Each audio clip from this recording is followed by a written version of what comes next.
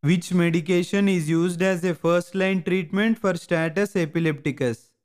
A. Carbamazepine B. Valproic acid C. Diazepam D. Phenytoin And the correct answer is C. Diazepam Diazepam is the first line treatment for status epilepticus because it acts quickly to calm excessive electrical activity in the brain, effectively stopping seizures. It is a type of benzodiazepine which enhances the action of neurotransmitter called GABA, leading to a sedative and anti-seizure effect. Diazepam can be administered intravenously or rectally making it suitable for emergency situations where seizures need to be controlled immediately.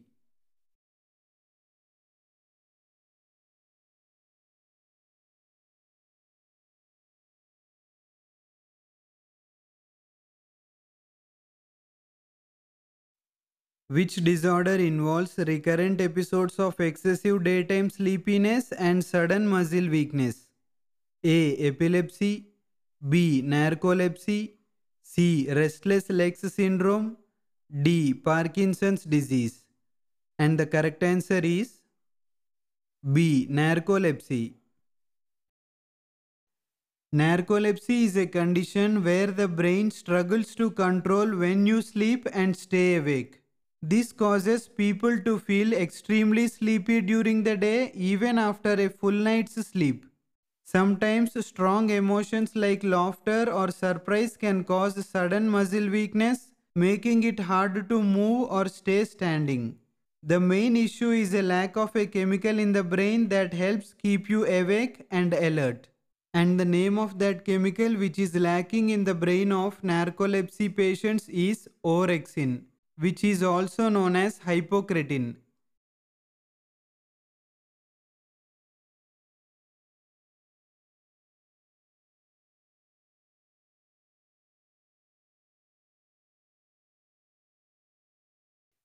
which condition is marked by inflammation of the membranes covering the brain and spinal cord often due to infection. A. Encephalitis B. Meningitis C. Hydrocephalus D. Cerebral palsy and the correct answer is B. Meningitis. Meningitis is an inflammation of the protective membranes called meninges that cover the brain and spinal cord. This inflammation is typically caused by an infection which can be viral, bacterial or fungal. Symptoms of meningitis can include headache, fever, stiff neck, sensitivity to light and confusion.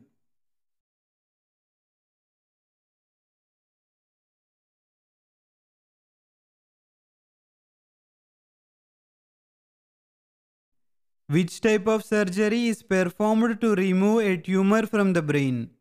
A. Craniotomy B. Laminectomy C. Discectomy D. Spinal fusion And the correct answer is A. Craniotomy a craniotomy is performed to remove a brain tumor because it allows surgeons direct access to the tumor. During the procedure, a portion of the skull is temporarily removed to expose the brain. This opening gives the surgical team the ability to carefully remove the tumor while minimizing damage to the surrounding healthy brain tissue. A craniotomy is often necessary for tumors that are located deep within the brain. After the tumor is removed, the piece of skull is typically replaced and secured.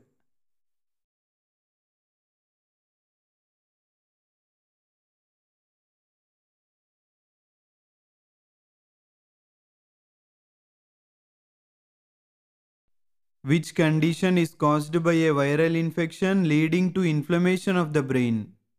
A. Meningitis B. Encephalitis C. Hydrocephalus D. Cerebral palsy And the correct answer is B. Encephalitis. Encephalitis is a condition caused by a viral infection that leads to inflammation of the brain. It often results from common viruses like herpes simplex virus, enteroviruses, or mosquito-borne viruses. Symptoms may include fever, headache, confusion, and in severe cases, seizures or loss of consciousness.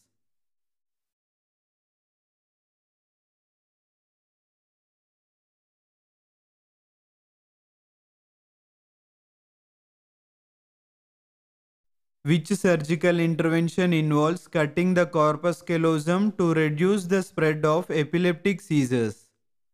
A. Temporal lobectomy B. Thalamotomy C. Pallidotomy D. Corpus callosotomy And the correct answer is D. Corpus callosotomy A corpus callosotomy is a surgical procedure that involves cutting the corpus callosum, the bundle of nerve fibers connecting the two hemispheres of the brain. This procedure helps to prevent the spread of epileptic seizures from one side of the brain to the other. It is typically used in severe cases of epilepsy when other treatments have not been successful.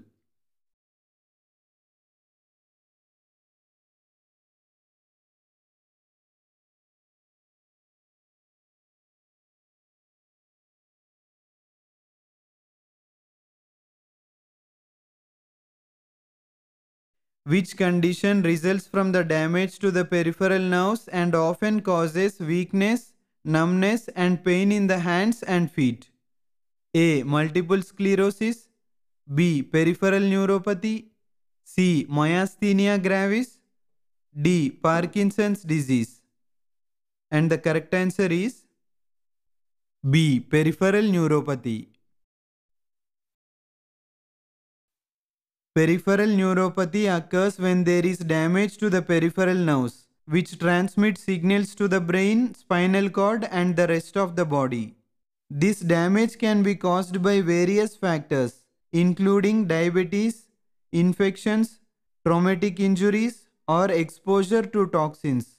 The result is weakness, numbness, and pain in the hands and feet because the damaged nerves can't send proper signals to and from the brain.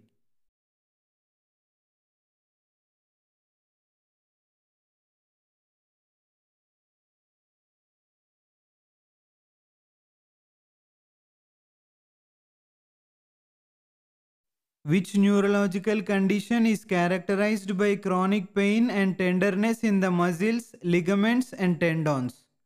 A. Fibromyalgia B. Myasthenia gravis C. Multiple sclerosis D. Amyotrophic lateral sclerosis ALS and the correct answer is A. Fibromyalgia Fibromyalgia causes chronic pain because the brain and nervous system become overly sensitive to pain signals. This means that normal sensations like touch are felt as pain. The exact reason for this is unclear, but it involves how the nervous system processes pain differently in people with fibromyalgia.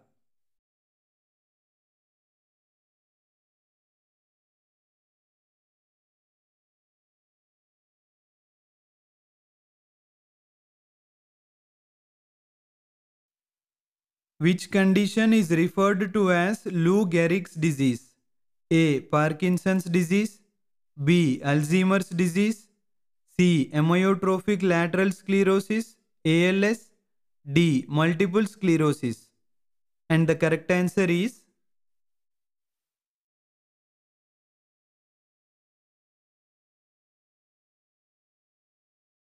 Drop your answers in the comment section below.